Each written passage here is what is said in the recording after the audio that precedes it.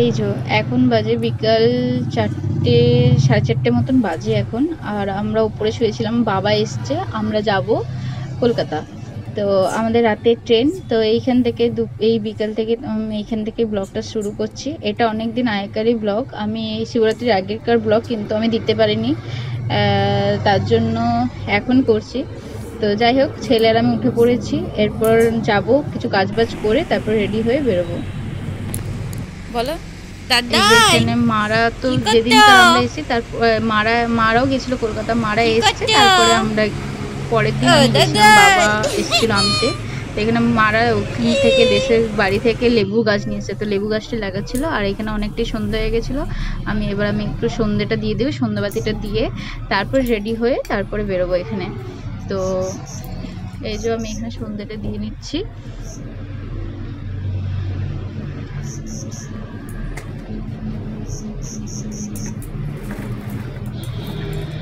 সন্ধ্যাবেলা প্রদীপটা না দিয়ে মানে বেরোনোটা মানে ভালো লাগে না ঠিক। তো মা বল তুমি তো সেই রেডি হবে। তাহলে তুমিই আজকে সন্ধ্যাটা দিয়ে দাও। মাই সচরাচর সন্ধ্যাটা দেয়। ঠিক আছে, চলো। তাড়াতাড়ি করে সন্ধ্যাটা দিয়ে দিই। কারণ মায়ের কাছে যাব তো এক্সপেরিমেন্ট একটু বেশি ছিল। তাড়াতাড়ি করে তাড়াতাড়ি করে সন্ধ্যাটা দিয়ে দিচ্ছিলাম না না, এই ভিডিওটা একটুখানি তাড়াতাড়ি করার জন্য একটুখানি এ পাওয়ার এটা বাড়িয়ে দিয়েছিলাম, তার জন্য তাড়াতাড়ি তাড়াতাড়ি হচ্ছে। এতটাও তাড়াতাড়ি আমি শুনতে দিইনি।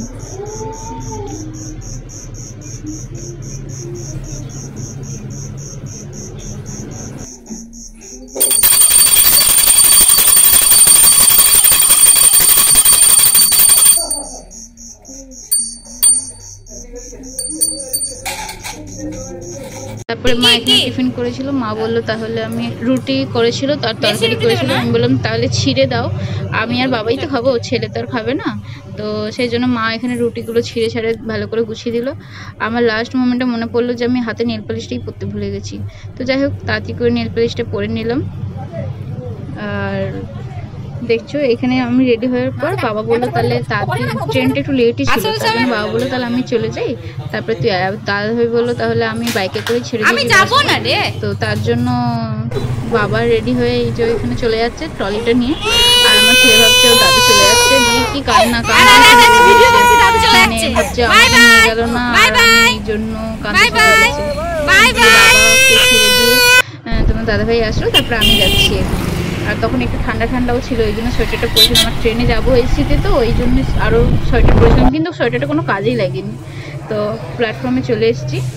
কিন্তু এরপরে আর কোনো ভিডিও ক্লিপ করিনি। পরের দিন সকালবেলা ভিডিও ক্লিপটা নিয়েছি। যখন নামবো, দেখছ, দেখতেই পাচ্ছ টলি ফলি সব নামিয়ে রেখে দিয়েছি যে নামবো এরপরে। কারণ ঘুম অনেকটা রাতের ট্রেনটা এসেছিল আর অন্ধকার হয়ে গেছিল ভেতরটার কামরাটা তার জন্য আর কোনো ক্লিপ নেওয়া হয়নি। তো চলে এসেছি। তো ছেলেকে ঘুম থেকে তুলে দিয়ে এবার আমরা নামবো। নামবো সাঁতরাগাছি থেকে নামবো, ওই জন্য আমরা অলরেডি টলি নামিয়ে দিয়ে চলে এসেছি। তারপরে চলে গেছি বাড়ি। মাকে বললাম, তুমি এসো, টলিটা নিয়ে যাবে? তো মা তো এসে টলি কিনেবে এই যে, দেখো, তোমরাই দেখো। আমি বললাম তোমাকে আমি টলি আনতে বললাম আর তুমি আচ্ছা। কি নিচ্ছ? যাও। কাকে নিয়ে যাচ্ছ? বলছে দাঁড়া আমি ওকে আগে নিই তারপরে টলি নেব। তোরা নামা টলি তো যাই হোক আমি কষ্ট মষ্ট করে টলিটা তোমাকে নামিয়ে নিলাম। ব্যাগ নিয়ে যাওয়ার জন্য। তুমি নিয়ে এসে তাকে নিয়ে নিলে কি? তারপরে একটু খেয়ে দিয়ে রেস্ট নিয়েছিলাম। দিয়ে ঘুম থেকে উঠেছি। এই যে আর আমরা গেছিলাম অ্যাকচুয়ালি বিয়ে বাড়ির জন্য। একজনের বিয়ে বাড়ি ছিল। এসে করে মেহেন্দিটা পরে কোনো রকম করে খেয়ে দিয়ে ঘুমিয়ে পড়েছিলাম। তো এই যে ছেলে এখন ঘুম থেকে উঠেছে এখন আদর খাচ্ছে। তারপরে আজকে বিয়ে বাড়ি নয় বিয়ে বাড়িটা কালকে ছি- আছে। তো ওকে বলছি হাই বলো ও দেখছে দেখে দেখে আবার শুয়ে পড়ছে একটু চোখ বন্ধ করছে দিয়ে আদর খাচ্ছে। ঘুম থেকে যখন উঠলাম তখন মায়ের এক গাদা এই যে লিস্টি এটা হলো পাতার রস। পাতার রস খাওয়ার পরে আরেকটা মানে একটার পরে একটা কন্টিনিউ চলতে থাকবে দেখবে? তোমরা দেখতেই থাকো। এই যে আমাদের বাড়িতে প্রত্যেক দিন এইসবের রস হয় এইসব খেতে হয়। আমি একভাবে চোখ বন্ধ করে রস খাচ্ছি। এটা হলো পাতার রস খেলাম। তারপরে চলে আসবে বিটের রস। এরপর বিটের রস খাব। মানে কিছুটা গ্যাপ দিয়ে দিই পাঁচ মিনিট সাত মিনিট গ্যাপ দিয়ে দিয়ে বিটের রস খাব। এবার দিয়ে আমি ছেলেকে বললাম তাই তুমি একটু খাও দেখিনি?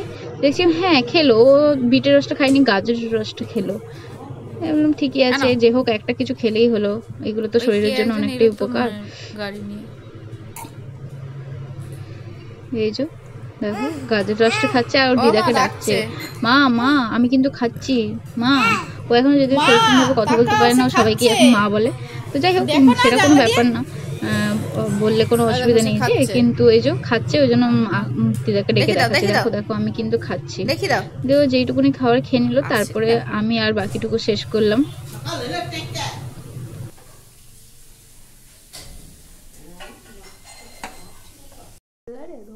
করতে করতে প্রায় অনেকটাই বেজে গেছিল।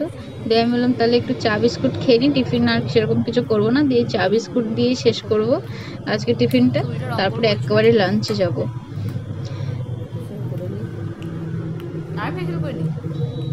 মায়ের সাথে কি বকর বকর করছিলাম মনে নেই কিন্তু মায়ের সাথে কোনো একটা কিছু কথা বলছিলাম। তারপরে এসছি এবার পার্লারে না গেলে হয়।